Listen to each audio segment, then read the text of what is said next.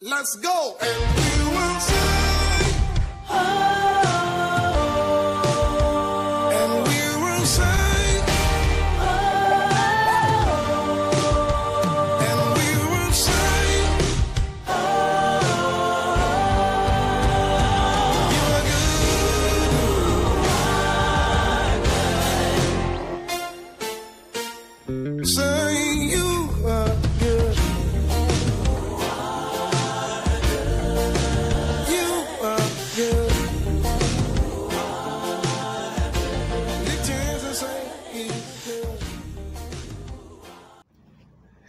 Welcome to the Lord's Day.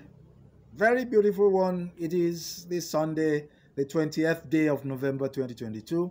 And this is your life-buoy today, telling you to cheer up because help is on the way. We are reading from the Acts of the Apostles in chapter 9. I will be reading just about three verses, beginning from the 32nd verse. If you are set, quickly let's go.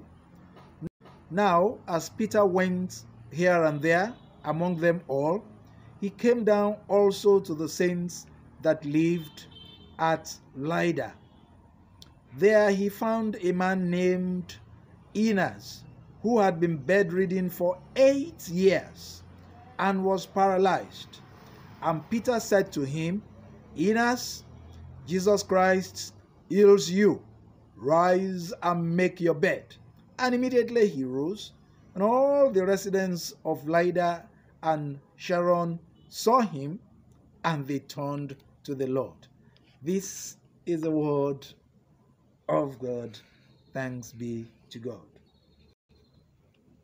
The Acts of Apostles, like every other part of the scriptures, are true happenings that occurred at one particular point in time or the other. But this happened in the early church in the first century AD. Jesus was no more physically with them, but he had promised them that the Holy Spirit would take control. And he had also said while he was here that you have not asked me for anything right now, but a time will come when you will ask anything in my name, and it will happen. This was the kind of thing that happened when Peter called upon the name of Jesus, and on that basis told Aeneas to arise after being bedridden for eight years. Let me ask you a question. Have you ever been ill before? Thank God, I've had very good health. Glory be to God.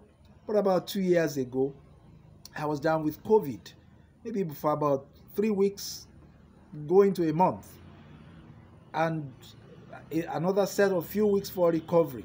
But during those days, I was miserable, I was tired. I could tell you that I was I was dead and resurrected again because I started seeing all kinds of visions, seeing myself coming out of the body and seeing the body on the bed and having all kinds of hallucinations. And you know it was a miserable time for me not only for myself for my wife for my children for the few close people that were detailed to take care of me at that point in time. Now that's just for three weeks. So i am trying to imagine going through that for one whole year. Wow that will be killing. And then for two years three years up to eight years that was the misery that this man went through. And yet when it was time for jesus to raise him from his sick bed through the hands of peter it happened. So what is it that is troubling you right now and for how long have you been in that troubled setting? Is it about yourself? Is it about your business? Is it about your career? Is it about your education? Or is it about somebody around you? Your husband your wife has been giving you a lot of concern. Your parents your son your daughter whatever it is that is troubling you, there is no human being that does not have one challenge or the other. I have mine. And as I'm preaching to you now, I'm also telling God that God, I'm going to cheer up because I believe that you are still on the throne and you are able to deliver me. You are able to do exceeding abundantly above all I can think or ask for. Therefore, why would you also not say so? Why would you also not think so? Cheer up, my brother, my sister. Is it about the situation in this country? Poverty all around you? Killing? Maiming? Kidnapping? Cheer up. Help is on the way. The name of Jesus is going to work mighty wonders in this country. And if there's any part for you to play to, go out, especially since the elections are coming now. Don't sell your votes. Go out. This may be one of the ways that God is coming and bringing help your way. Vote for people that will ensure that we have more security in this land, that poverty is dealt away with, and that all kinds of instabilities become history in this country. Are you a Christian? So that you can also use the name of Jesus to change situations around you? If you are, glory be to God. But if you are not yet a Christian, you need to come join us. You need to come join the assembly of already cheerful people. Are you set for that experience? Then say, Lord, I come to you right now. You have assured me to cheer up, that help is on the way. I have been a sinner all my life. I am coming to you now. Have mercy on me. Change my story from today. Let me be able to say of a truth, help is on the way for me through Jesus Christ. Do it for me, Lord. I pray in Jesus' name. Amen. If you said that prayer, welcome to the fold of Christ. Cheer up the more because more help is on the way for you. That you became a Christian at all is a certainty that help has come your way already. And so you need to grow in that faith. Find a Bible believing church.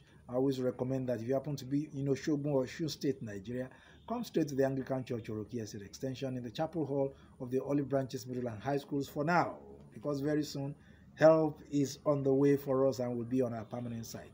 But for now, join us 5 o'clock on Wednesdays there in the chapel hall of the Olive Branches Middle High Schools. Like I said, along Goyinka and Goke Omigbodun Drive, Oroki Extension, Osogbo for our midweek services. And if it's on Sunday like this, if you are hearing me before it's time for service, you can still join me by 10 o'clock today to have a celebration or Holy Communion service. And as you do that, the Lord will continue to strengthen you and cheer you up the more in Jesus' name. For all of us now, let's say this prayer. Say, Father, I patiently wait for your divine visitation, which is never too late, so that I can be cheered up the more through Jesus Christ our Lord. Amen. So go out today, cheer up, help is on the way. Amen.